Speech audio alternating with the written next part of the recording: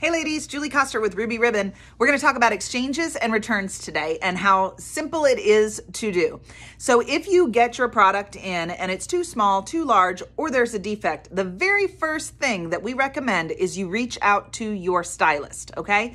Because if it's a defect, you'll want your stylist to reach out to support and report that because if you try to return an item for exchange that is uh, defective in any way, we can't prove that you didn't, you weren't the one that did that, right? So contact your stylist if you're going to exchange or return, no matter what, and um, let us know so that we can help you either um, exchange, adjust, or um, if it's a defect, reach out for that. So there are many times that I have women who think they need to exchange for a larger size because they've put it on and they haven't adjusted it properly and it's not fitting them the way that they want it to fit them. And it is something as simple as pulling the cami up or lifting the ladies, right? Or something like it could be something very simple that adjusts everything and makes it feel perfect. But if you don't know how to adjust it, then you can't do that and you're going to feel like it, it doesn't fit you. Um, when you wear your cami, it should be completely comfortable and um, feel kind of like just a second a second skin without being our second skin level two cam. You know what I'm saying? Um, so it should just feel very comfortable on you. If it doesn't, then you need to reach out to your stylist um, for some advice on adjustability.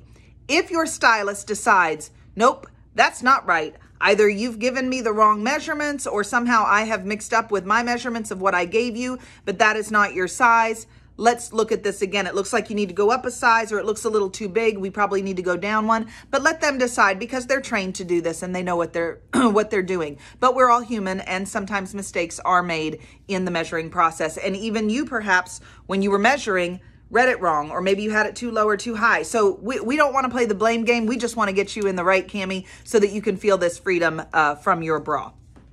So once you have talked to your stylist and she says, yes, we're going to exchange or yes, we're going to return or let me reach out to support because it's a defect, then you're going to go to the website of your stylist um, for the exchange or return, not the defect, but the exchange or return.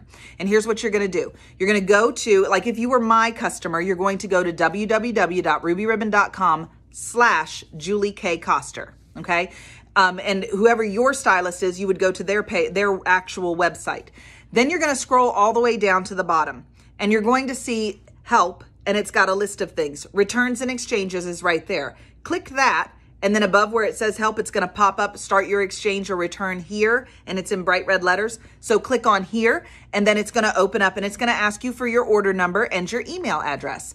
The email is the one that you gave Ruby Ribbon when you checked out. And the order number is in that email that they sent you to that email address. At the very top, it says order number. So you're going to put that in and you're going to put your email in, and then it's going to pull up all of the items that you had in that order, whether it's two, one, 17. I mean, I don't know what you ordered, but whatever you ordered, you go in and you find the one that you're going to exchange and you check it. When you get to the comment section, you're going to, if you're exchanging, if you're returning, you're done and you just send it through.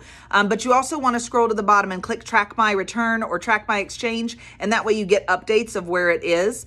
Um, so that you can track when it gets there and, and, what's going on and reach out to your stylist if you need to at any point to follow up, but you'll be able to check things yourself. Um, but the other thing, if you're going to exchange, the comment section is where you're going to put that. So you're going to exchange something. Um, say I'm going to exchange my 40 Heritage for a 42 because I didn't realize I needed to size up and I didn't talk to my stylist. I just ordered it. So I need to exchange up one. So we're going to go into the comment section and I'm going to put um, exchanging 40 uh, Heritage in brown sugar for size 42 Heritage in brown sugar. And that's what I'm going to put in there. And then I'm going to submit it. And that way they know what I'm exchanging for. Okay, so it says return, but you can exchange as well. You just have to put it in the comment box. And that's it. It's super simple. You'll print out a label, slap it on your um, package. What I do is, let me grab this. I wasn't prepared because I wasn't thinking about it till just now, so I'm glad I thought of it. Oh, and there's Katara. Say hello. So you get your ruby ribbon bag, right? Well, inside, if you put it back into exchange, you can peel this off, right? And it's sticky and fold it back down and seal it again.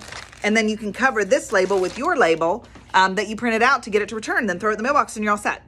Okay, have a blessed day. We'll talk to you later.